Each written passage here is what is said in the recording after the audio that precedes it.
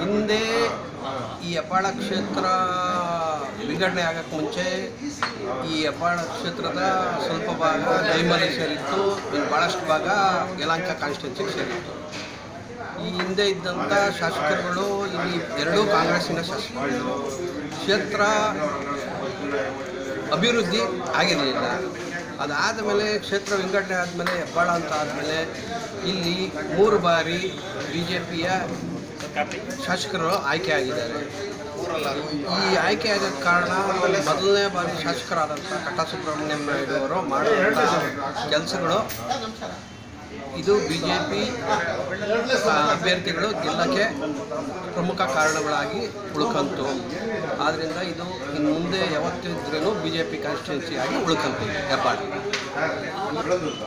ಈ ಮಧ್ಯದಲ್ಲಿ ನಮ್ಮ ಶಾಸಕರಾದಂಥ ನಿತೀಶ್ ಕುಮಾರ್ ಅವರು ಅಕಾಲಿಕ ನಿಧನ ಆದಮೇಲೆ ಮತ್ತೆ ಬೈ ಎಲೆಕ್ಷನ್ ಬಂದಾಗ ಬಾಳಿ ಭಾಳ ದೊಡ್ಡ ಅಂತರದಿಂದ ನಾರಾಯಣ ಸ್ವಾಮಿಯವರು ಇಲ್ಲಿ ಗೆದ್ದರು ಈ ಗೆಲುವಿಗೆ ಕಾರಣ ನಾವು ಮಾಡಿದಂಥ ಕೆಲಸ.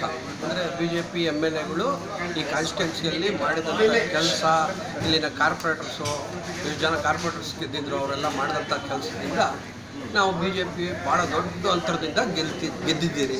ಇದೇ ಕಂಟಿನ್ಯೂ ಆಗುತ್ತೆ ಮುಂದೆ ಬರುವ ಮಹಾಚುನಾವಣೆ